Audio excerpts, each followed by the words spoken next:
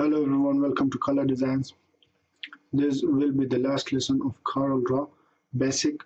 After this, I will start creating my professional course and uh, I will create it. I need some time to complete it. So if you like my course, my basic course, you can come up there and check my professional course.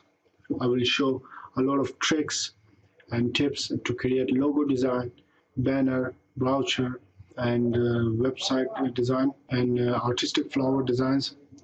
Uh, I will show you a lot of tricks and methods to use to create a very complicated design in a very simple way in my professional classes so you will get it easy because I will not uh, make my professional classes lengthy so you will not get bored of my classes uh, so let's get started with our final lesson of this basic course in this course, I will teach you how to export the files in the variations that you need for printing, for use of printing. First of all, uh, you have to understand that you need CMYK colors for printing and RGB for internet use. So if I need my CMYK color, I will go to Window, to my color palettes and uh, select the CMYK color palette.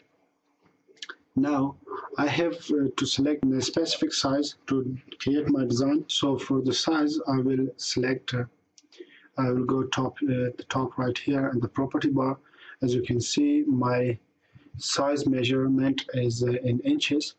So I will, I can select and change that to millimeters, points, pixels, and um, feet, yards, miles, anything I want. Obviously and uh, commonly that we use in this option, uh, we will take the feet or meter size. Now I will choose from here that how much uh, the size of vertical and horizontal will be to my design to create my design.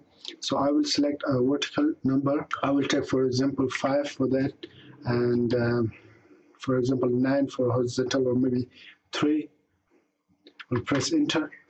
Then I will go up here. So as you can see I have a rectangle shape size uh, measured right here. This is the size that I need to print my design. So this is how you select your size and measure it. Now what you have to do is uh, double click on your rectangle shape. So it will automatically uh, cover the number the measurement that you have selected. The rectangle shape will appear right here. Now you can design your shape your banner or anything that you want or maybe anything else. So you can create your design anything that you want to enter and insert in this design. And you can simply put it inside and gather them all together. I hope you understand this one. After that uh, if you want to print it or make a JPG or convert or export it to any size you want for example if you take this as a design I will select it. My design is not centered with uh, my page. So what will I have to do is there is a shortcut key and to use to centralize it with your uh, shape or your background. So first uh, I will select my text or my design. Then I will press shift and select my background. Then I will press C which will uh, centralize it horizontally. Then after that I will press E it will centerize it vertically. CE will center it perfectly with your background, you design with your background. So this is the best way and the easiest way to centerize your design with your background. Now I will select the whole design and press Ctrl G. After that, I will go to File and press uh, Export. There are two ways to export files. One is for the web and the other one is uh, export for printing. For example, if you need to export for printing, you have all sorts of uh, file you can um, export for example I will give the name first after that I can select which what kind of file that I need uh, is it must be EPS JPG PDF AI or maybe something else you can select it from here and uh, after selection you press export and you will select your file location. Then you can press export. The file will be exported and these are the options that you need. If you have uh, to do any changes these are the options that you can make them. But this is not necessary to use so I will let it be and press OK. So my file has been uh, exported. So we will go and check uh, uh our file as you can see our file has been exported uh, to EPS right here. Is it is right here. I will delete it and uh, this time I will uh, export it for web. So I will go to file export for web. You can select the web.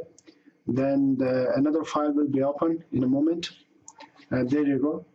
You can select original PNG, GIF or JPG I will select the JPG for because it's the code of uh, picture I will come bottom, I will select the color or maybe grayscale, RGB, CMYK, which color you need it to be. I want it for the web, so I will put the RGB color mode and I will select the quality. I will put it on high quality and I can uh, change the width and height right here as well. So I will not do it right now. If you want to do it, so you have to remove the checkbox, then you can properly set uh, the width and the height by your own needs so I will uh, let it be.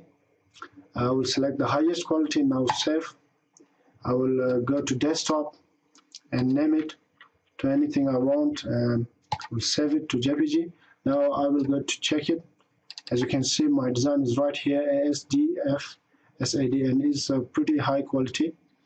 Uh, so this is the way uh, to create uh, a JPG file to measure your the size of your printing file. But if you, you don't have any idea how to measure it I showed you in this lesson. Hope you understand it and uh, get something from it. If you have any question kindly ask me.